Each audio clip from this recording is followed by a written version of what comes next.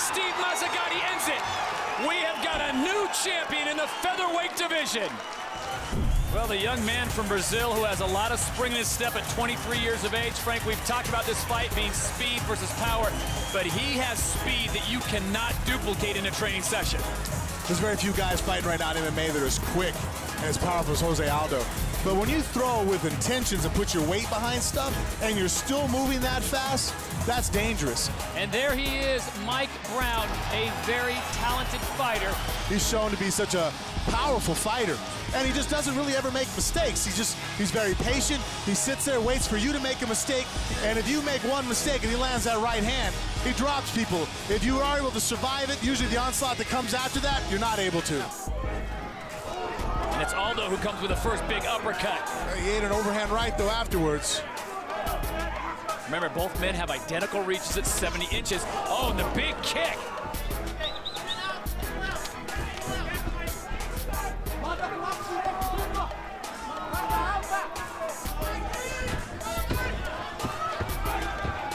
Difficult for both men to duplicate what their opponent would brings. I thought that was a mistake for Jose Aldo to be so content to get pushed up against the cage like that. But he was able to push off the champ. Where does Mike Brown go to find someone as fast as Jose Aldo? Right there. And where does Jose Aldo go to find someone as powerful as Mike Brown?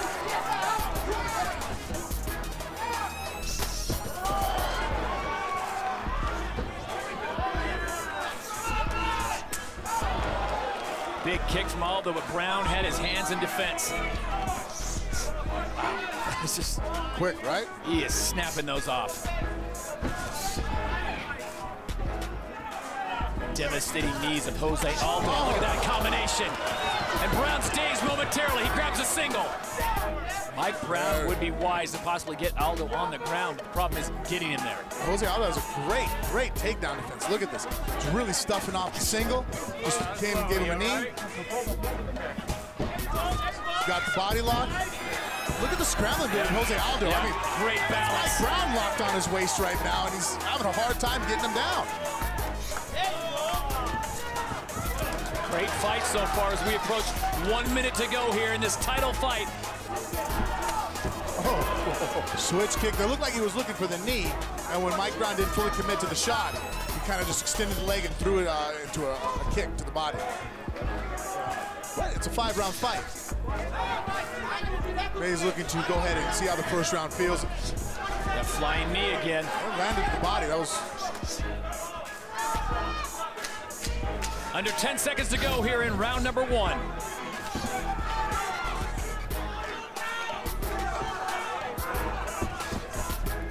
And we will see a round two when we return to Las Vegas, Nevada. All right, second round. Bring it on. Come on. Here we go with round number two. Mike Brown in the white trunks, Jose Aldo in the black trunks. And Aldo with that calm demeanor. Brown now coming forward with a little more determination. Spinning back kick comes from Aldo.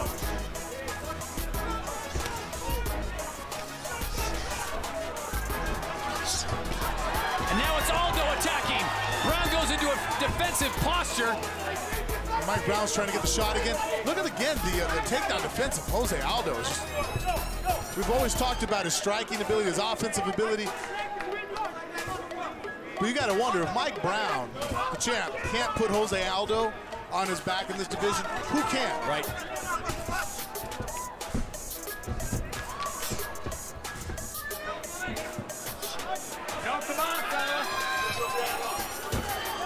And Brown's in trouble.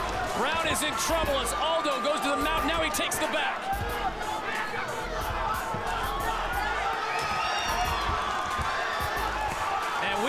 Seen the champion in this situation before. Jose Aldo now is just teeing off on Mike Brown. Brown trying to survive. And that's it. Steve Mazzagatti ends it. We have got a new champion in the featherweight division. Jose Aldo. Too much speed, too much power on the night for Mike Brown. Ladies and gentlemen, the end comes one minute, 20 seconds of round number two. Stoppage due to strikes for your winner by TKO victory and new WEC featherweight champion of the world, Jose